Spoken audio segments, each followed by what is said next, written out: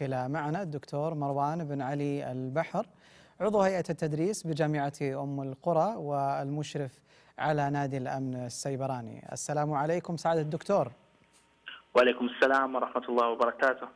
أهلا وسهلا بك. ونحن الآن نتحدث عن مجموعة من الثغرات التي اكتشفتها باعتبارك مكتشفا للثغرات. 14 ثغرة في جامعة هارفارد ثمانية في أوراكل ستة في جوجل وهذه نبي نسولف عنها شوي ثلاثة في أفاست واحدة في سيمنز كوليديرا إنريش جامعة فيكتوريا وغيرها من الثغرات التي اكتشفتها. بودنا أن تحدثنا عن فكرة اكتشاف الثغرات وأهميتها. لماذا نكتشف الثغرات نحن؟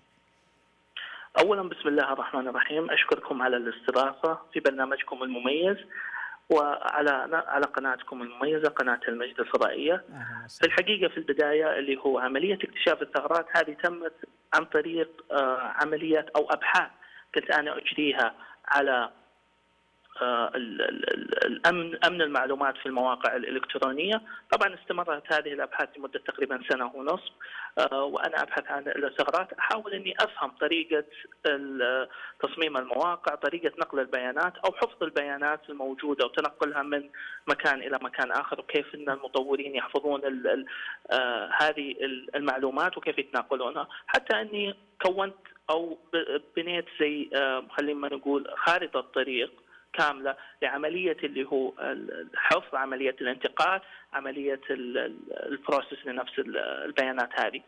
ومن ثم اكتشفت الطرق الممكنة لاختراق هذه البروسيس اللي موجودة عندهم أو الطرق اللي موجودة عندهم بحيث إن أنا أقدر أكسر الطريقة هذه وأحاول إني أقحم نفسي معهم أو إني أدخل على بيانات أعدل عليها أو إني أضيفها.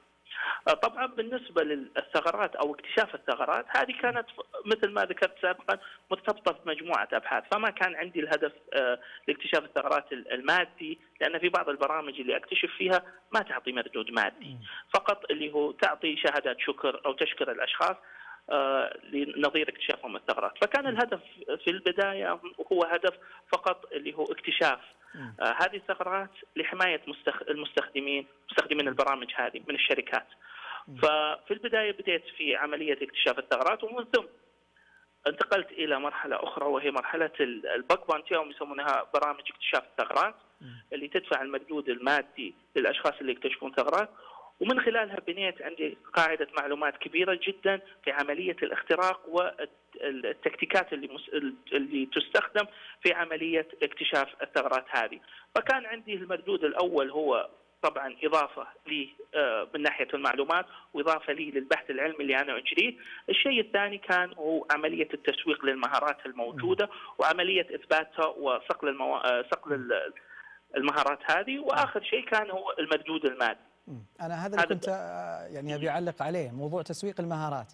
إذا كان مكتشف الثغرات يريد أن يسوق لمهاراته فما المستقبل المتوقع لمكتشفي الثغرات؟ يعني سوقوا مهاراتهم ثم ماذا؟ هذه يسمح لهم بعد بعد ما أنت توظف مهاراتك أو تسوق لمهاراتك بالتسويق الناجح قد تحصل على عقد عمل أو عقود استشارة من بعض الجهات اللي تقدر إنها توفر لك أو إنها تمنحك وظيفة معينة كفريلانسر تشتغل عندهم أو إذا كان عندهم شواغر وظيفية في عملية أمن المعلومات، عملية حماية المعلومات باختلاف ال ال ال الوظيفة اللي موجودة لكن أنت تسوق لنفسك تخلي السي في اللي موجود عندك أكثر يكون جذب لأرباب العمل اللي موجودين سواء في القطاع الخاص أو القطاع الحكومي، الآن مثل ما نشوف عملية أمن المعلومات أخذت أبعاد مختلفة كثيرة والدولة حفظها الله قامت بإضافة اللي هو بعض المبادرات وأيضا اللي هو لفت الانتباه للموضوع هذا وبناء بعض التشريعات اللي من أجلها حماية المستخدمين في الفضاء السبراني.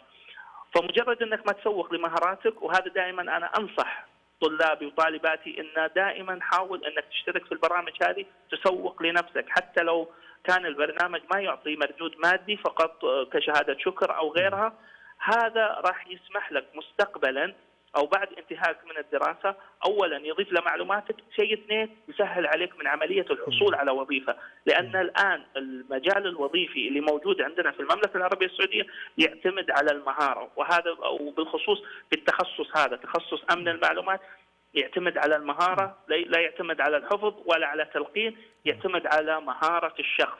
كل ما زادت مهارة الشخص الإكسبيرينس اللي موجودة عنده، عملية الخبرة في احتكاكه مع البرامج الكبيرة، فهمه لطرق اللي هو الحماية وكيف تجاوزها، هذا بحد ذاته يضيف له شيء الكثير اللي يسهل من عملية حصوله على الوظيفة، ونرى لذلك اللي هو كترجمة لمثل هذه الأفكار هو وجود الشهادات الاحترافية، الآن عند التقديم على أي وظيفة في أمن المعلومات غالبا غالبا ما يطلب منك شهادات احترافية. تكون كواحد من الأشياء الشبه أساسية في موضوع التقديم. هي التي تثبت وجود المهارة لديك يعني. صحيح صحيح. طيب. هي هي هي فقط نقطة واحدة. هي م. سواء عن طريق الشهادة الاحترافية تقدر تثبت مهاراتك أو عن طريق برامج اكتشاف الثغرات أيضا تقدر تثبت مهاراتك. تختلف الطرق لكن الهدف واحد. أي. إي نعم. اسمح لي أختم بهذا السؤال ما يتعلق بالامن المعلومات في المملكة العربية السعودية. كيف تراه؟ وهل يمكن لمكتشفي الثغرات أنهم يساهمون في تطوير البنية التحتية الرقمية التقنية في السعودية؟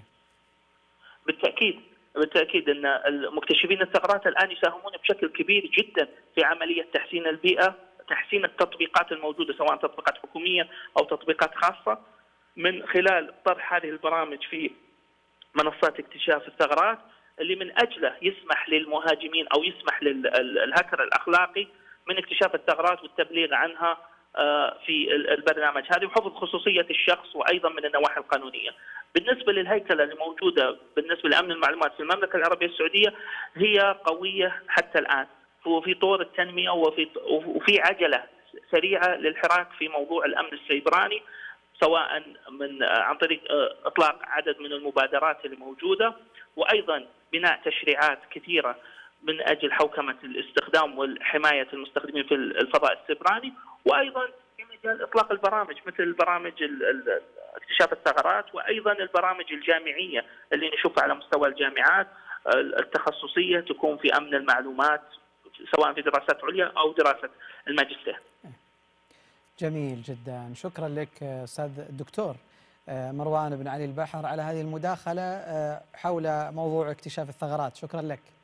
عفوا يعطيكم العافية. أسعدك الله. واسمحوا